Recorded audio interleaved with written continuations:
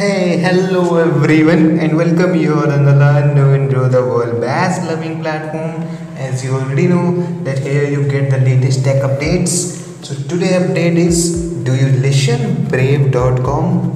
Do you search it about Brave.com? Do you know about Brave.com? So today topic is Brave.com. So what is this?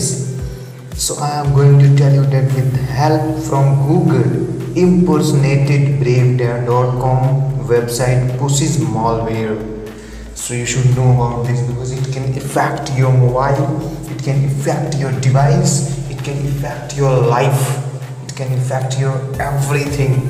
So without losing, without skipping this video, you have to wait and listen and watch and learn many things. Okay in this video i am going to tell you that what is this brave.com and how this is spreading the malware and how users come in this trap and you also can be that come in its trap. Okay so for saving you have to come here. And next one is what this fake site do to attract people. This thing also i'm going to tell you but you, you will have to wait and you will have to be my friend. Means you will have to come in my friend list. For coming in my friend list you can subscribe. Okay you can encourage me to make these kind of videos. The next one is virus working in different faces what are the faces you have to listen you have to be ready okay? And the next one is what are the attackers different method to enter to enter your device in your mobile in your pc in your laptop in your different kind of device you have to know about this also. Okay so as you also that you know here this kind of details so let's start. But before going to start i can suggest you that you can subscribe this channel share this channel with your friends so that your friend also could be up to date. And like this channel so let's start. Scammers have been caught using a clever sleight of hand to impersonate the website for a brave browser and using it in google ads to push malware that takes control of browsers and steals sensitive data. How users come in its trap? Let's listen. The attack worked by registering the domain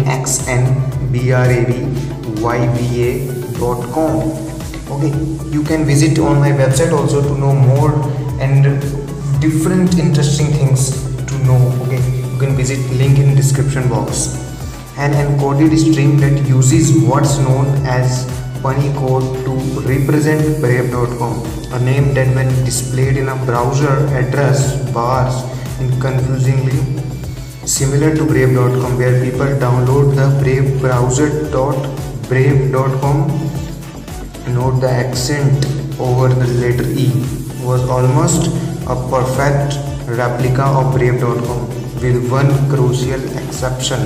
The download brave button grabbed a file that installed malware known both as ars client and capture right? Means different kind of websites. If you i would like to tell you that if you click on a different attacker's website which is same name with which same name okay? You will find same name but that that website will be made by attackers. When you click there the one one exception extension will can download inside you and that extension can be fulfilled with malware okay? So you have to be aware with this also. And what this fake site do to attract people to drive traffic to the fake site the scammers bought ads on google that were displayed when people searched for things involving browsers.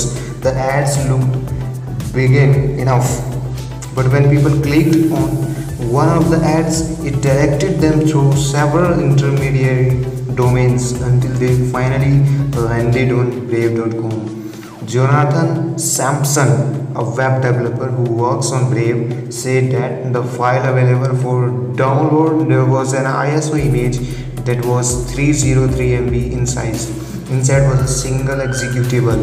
Okay so what are the virus working? Means virus working in different phases what are the phases of virus you have to listen to this scammers have been caught using a clever sleight of hand to impersonate the website for the Brave browser and using it in Google Ads to push malware that takes control of browsers and steals sensitive data. The attack worked by registering the domain. Oh, also, the malware detected goes under several names including our client and SectopRAT. A 2019 analysis, analysis from security firm G-Data found that it was a remote access Trojan that was capable of streaming a user's current desktop or creating a second invisible desktop that attackers could use to browse the internet. In a follow-on analysis published in February, G-Data said the malware had been updated to add new features and capabilities, including encrypted communications with attackers' controlled command control servers. A separate analysis found it had capabilities like connecting to C2 server, profiling the system, steal browser, history from browsers like Chrome and Firefox.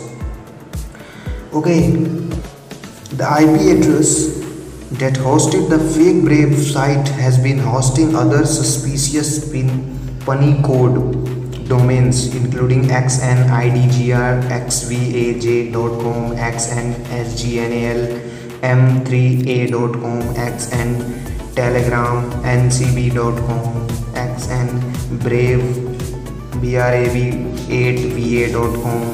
Those translate into ledger.com, signal.com, telegram.com, brave.com respectively. So all of the domains were registered through namecheap okay. Yes so what are the attackers different method? This thing we are going to understand that attackers behind this scam had been hosting other lookalike alike sites on other ips using a silent push product he searched for other punny code domains registered through namecheap and using the same web host. He hit on seven additional sites that were also suspicious. The results, including the Punycode and translated domains, are xn, screncast, screencast.com, okay, fight simulator, mdc.com, braveeva.com, socdusthza.com. These kind of results are there. In the last of conclusion i would like to tell you that google removed the malicious ads once brave brought, brought them to the company's attention. Namecheap took down the malicious domains after receiving a notification. One of the thing that's so fiendish about these attacks is just how hard they are to detect because the attackers has complete control over the Punycode domain, the imposter site will have a valid TLS certificate. When the domain hosts an exact replica of the spoofed website even security aware people can be fooled. Sadly there are no clear ways to avoid these threats other than by taking a few extra seconds to inspect the url as it appears in the address bar Attacks using Punycode based domains are nothing new. This week's impersonation of Brave.com suggests they are not going out of Wagyu anytime soon. So this was suggestion from me that you should aware to inspect the URL. Don't click before reading, before taking judgment about this URL. So how is this information? If you like, you can encouraged me to make this kind of videos and i can i also say that i am encouraged by your subscribing this channel. Okay thank you for coming here